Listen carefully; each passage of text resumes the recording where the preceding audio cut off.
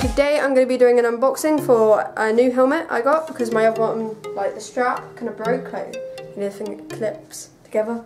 Yeah, that broke, so I got a new one. Um, it's, actually, I'm not going to tell you what it is until we open it, so yeah, let's get into opening it.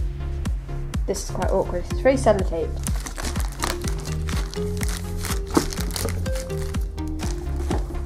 And here we are, guys. Pro-Tec. Oh yeah. That's quite a cool box. Is it me or is that quite a cool box? Comment down below, down below, if this is a cool box. A cool box. That's just me being weird now. Oh, there it is. Oh, it's like sliding.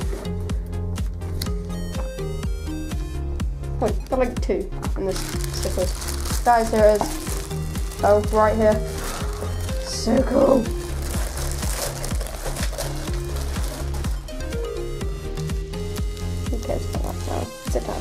Oh, I got Pro-Tec stickers, that's cool. Oh wait, everybody got some. There's them. There it is.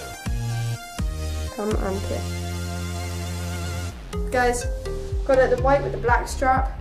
Um, Pro-Tec. It, it looks really nice. It's super lightweight. And yeah, so I'm gonna go get my other helmet and show you what's the difference because yeah. So this is my old helmet, it's a Bell helmet and as you see there's no like clippy thing on here to clip onto that. So that's broken. Um, yeah, and this one like doesn't fit that right, it's actually kind of tight. It fits perfect. But you know, it's broken so here's the new one. This one's a lot heavier than this and this one just, it just looks better in every way. And I'm super happy with it, so let's try it Hopefully it fits. If I, if I like do the wrong size, that'd be so bad. If it is the wrong size. I'm gonna hope the right size now. Yeah, that fits. That fits well, it's pretty good.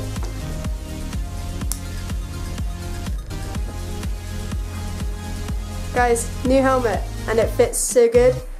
It's like super lightweight and yeah. It's really good. So basically, if you guys like my new helmet, comment down below and comment down below if you like my box because it's very green. As you see, um, I will see you guys in the next video and don't forget to like and subscribe down there, comment down there and yeah. So I'll see you guys in the next video. Goodbye.